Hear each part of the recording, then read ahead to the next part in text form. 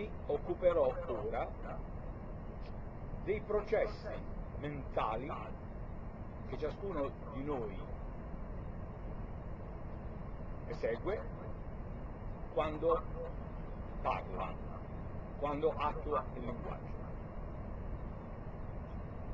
Noi abbiamo visto persone capaci di calcoli precisissimi, di una memoria ferrea.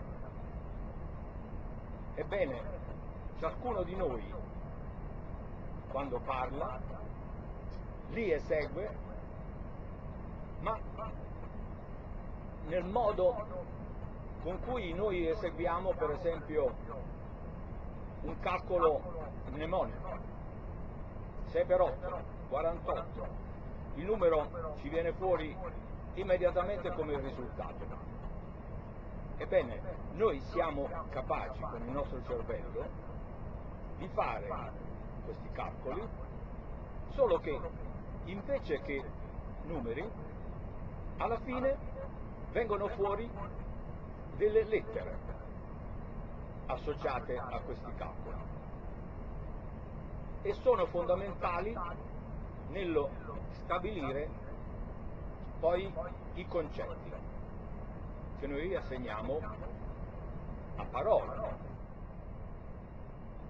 Sappiamo che i savant possiedono straordinarie capacità di calcolo e che tutti noi potremmo esserlo se il nostro cervello patisse alcuni danni.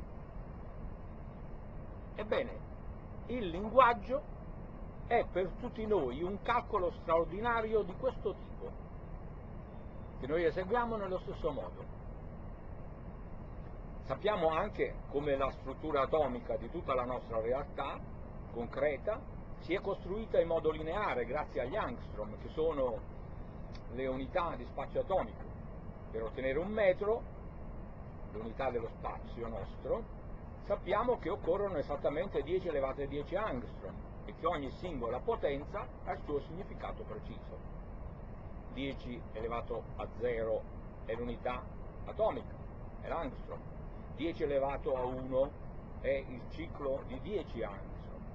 10 al quadrato è l'area, 10 al cubo è il volume, 10 alla quarta è il volume reale, ossia con lo spazio 3 e il tempo 1, 10 alla 5 è lo spazio elettrico oppure magnetico, 10 alla 6 è il volume in due versi, positivo e negativo, 10 alla 7 è il vincolo sferico che aggiunge ai 6 dello spazio stogonale il raggio comune, 10 alla 8 è la realtà complessa, 10 alla 9 è tutto il moto del ciclo. 10 alla 10 è il metro, ossia il nostro riferimento unitario. Ebbene, è elevato a 10, la base 10. Mentre avvalendoci della struttura atomica, noi visualizziamo il mondo reale nella dimensione lineare del metro, avvalendoci della ideale struttura del linguaggio, noi agganciamo a quelle potenze delle lettere. In tal modo 10 elevato a 0 ha anche lo scopo di dare esempio del silenzio, una vocale non pronunciata. 10 alla 1 è la A, 10 alla 2 è la B, 10 alla 3 è la C, 10 alla 4 la D e così via fino al 10 alla 10 che è la lettera L e poi di seguito 10 alla 11 è la M, 10 alla 12 è la N, 10 alla 13 è la O per finire alla 10 alla 21 che è la lettera Z queste 21 sono esattamente 7 per 3, ossia le libertà della sfera nelle tre dimensioni dello spazio. Ora, potrebbe sembrare un artificio, un nostro arbitrio di noi, giudici, persone che cerchiamo di capire come funziona il nostro cervello, ma non è per nulla un arbitrio la stessa realtà che noi percepiamo al nostro livello di grandezza usando la struttura atomica, con la sua stessa struttura atomica, si rende accessibile a una valutazione di tipo ideale, ottenuta attraverso le lettere.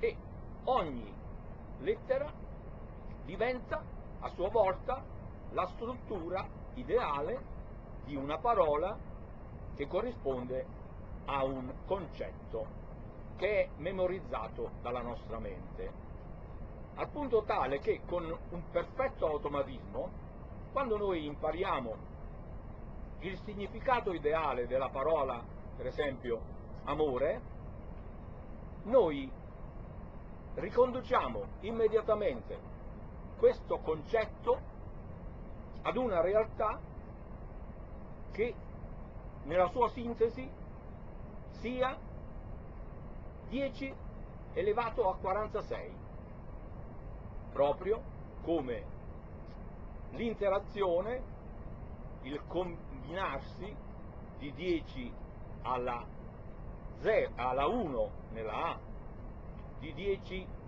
alla 11 nella M, di 10 alla 13 nella O, di 10 alla 16 nella R e di 10 alla 5 nella E.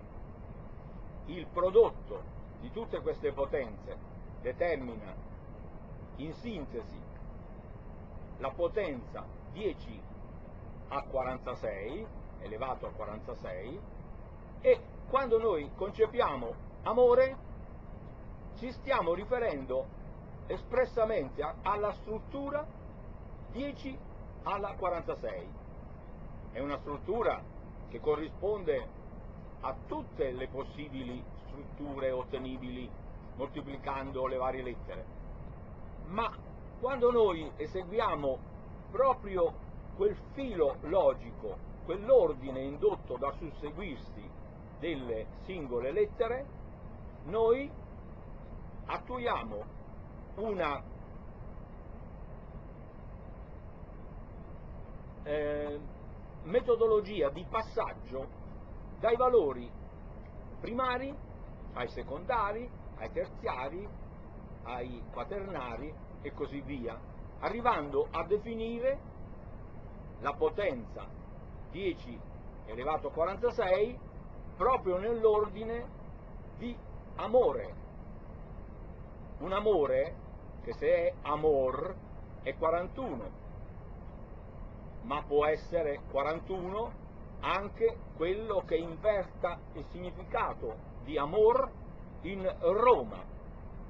Quello che è diverso in questo caso è il primato, perché non è più assegnato alla potenza 1, che ha veramente il primato, ma alla potenza 16, che è quella della realtà 4x4.